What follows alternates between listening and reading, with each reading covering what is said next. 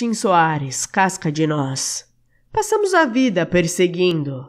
Perseguimos mentiras, perseguimos pecados, perseguimos as algemas que nos caiba. Passamos a vida perseguindo os pedestais mais frágeis, reputações abaláveis e cílios postiços.